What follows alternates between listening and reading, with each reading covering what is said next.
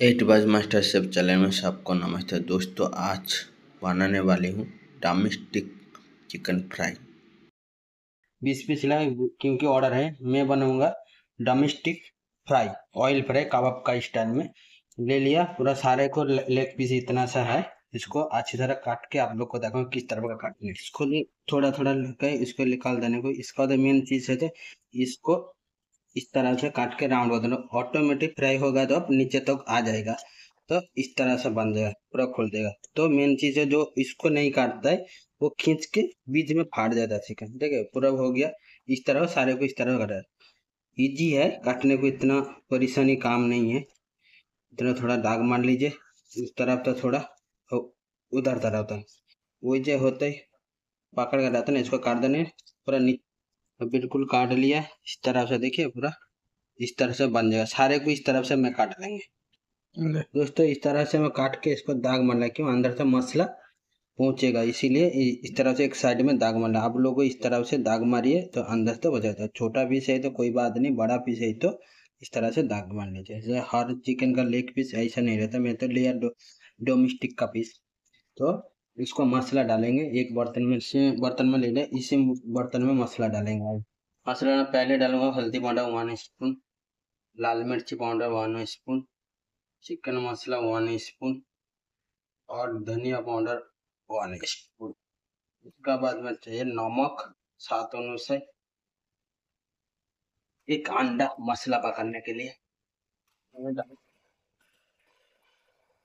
अदरक लहसुन का पेस्ट।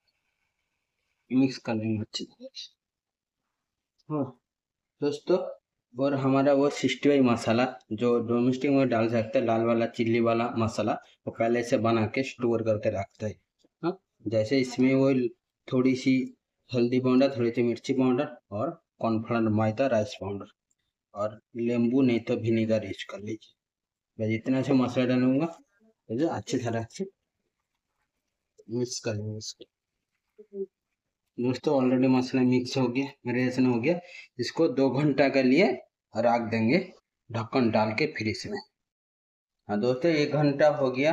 एक से दो घंटा रख दिया था। अभी फ्राई करूँगा। ऑयल पहले से डाल दिया, गर्म हो गया। इसमें डाल के फ्राई करूँगा। बिल्कुल लो फ्राई में फ्राई करना। एक चीज़ डाल दूँगा। इस तरह से।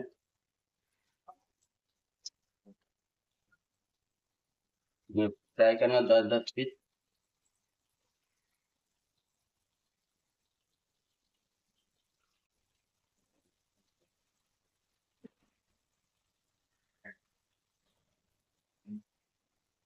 नोटा दूँगा। दो मिनट गैप दिया इसका पहले ना मसला उठ जाएगा।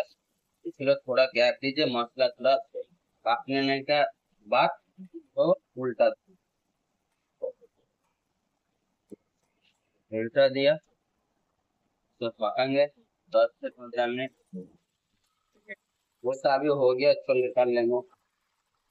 देखिए कितना दो का साइज़ में आ जाए इस तरह से काटेंगे अगर मसाला डाल के फ्राई करेगा तो मैक्सिमम तो एक घंटा रखे। मैं दो तीन घंटा रखा था। तो अभी हो गया ऑयल से निकाल के इस बर्तन में डाल। ज़बरदस्त है। निकलना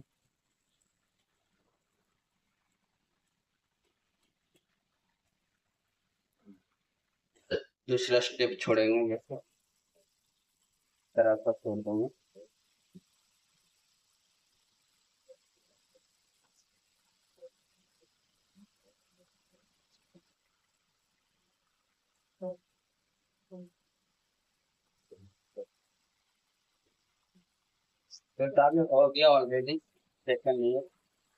बार निकाल लेंगे।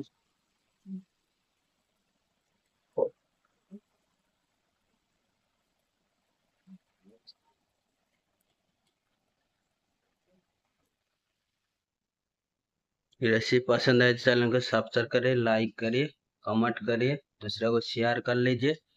तब तक बाय बाय फिर मिलेंगे दूसरा रेसिपी लेकर।